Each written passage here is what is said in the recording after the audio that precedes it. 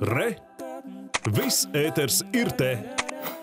Mēs darām visu iespējamo, lai gāzes pietiekamība tiktu nodrošināta pienācīgā apmērā. Tā šorīt intervijā rīta panorāmā sacīja ekonomikas ministre Joze Indreksone. Panorāmā jau ziņojām, ka bez gāzes piegādēm no Krievijas Inčukalna krātu līdz apkura sezonai varētu paspēt piepildīt tikai līdz pusē. Lai gan amatpersonas vairāk kārt mierinājušas, ka Latvijai gāzes nepietrūks, aprēķina liecina, ka atkarība no Krievijas gāzes rada nopietnus apgādes riskus. Un turpina Madara Līcīte.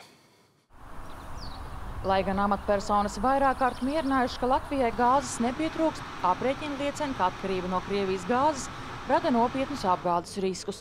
Inču kalna krautuvē apkuras sezonas sākumā varētu būt par 40% mazāk gāzes nekā pērn. Ekonomikas ministra uzsver, valdība darīs visu iespējamo, lai Latvija nepaliek bez gāzes. Mēs, protams, esam vienotajā tirgu un savienoto trauku princips nodrošina, ja kādam trūks, tad nu, nav tā, ka mēs varam aizgriezt ciet to vadu un nedot. Tā kā, un arī otrādāk, ja mums trūks, tad mēs varam atkal cerēt uz to, ka no blakus esošām valstīm tiks sniegta šī palīdzība.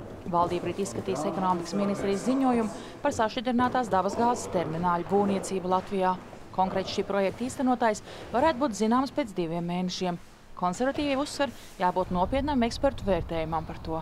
Procesam ir jābūt ne tikai caurspīdīgam un atklātam, bet arī profesionālam. Proti, ekspertiem, kuri pateiks, kas ir visizdevīgākais ilgtermiņā, tieši ilgtermiņā, nevis īstermiņā, kāds šis termināls ir ilgtermiņā visizdevīgākais Latvijas ekonomikai, ka to pateiks augsti kvalificēti eksperti, nevis teiksim, politiķi ar vājām zināšanām šajā nozarē. Valdības vērtēšanai nodotajā ziņojumā būs detalizēta informācija par terminālu projektu, un ministri varēs lemt par tālākajiem soļiem. Eksperti vērtējot potenciālo projektu, ņems vērā to, vai tas ir īstenojams bez valsts atbalsta, vai tas balstās uz biznesa pamatiem un vai darbosies ilgtermiņā. Tāpat tiek vērtēts tas, cik ātri termināla projekts var tikt īstenots.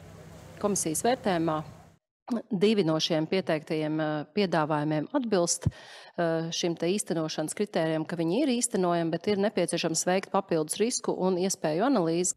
Līdz šim spries par diviem sašķidrinātās dabas gāzes projektiem. Viens no tiem paredz termināļu būvniecības kultē, bet otrs Kundziņa salā. Madara Līcīta, Latvijas televīzija.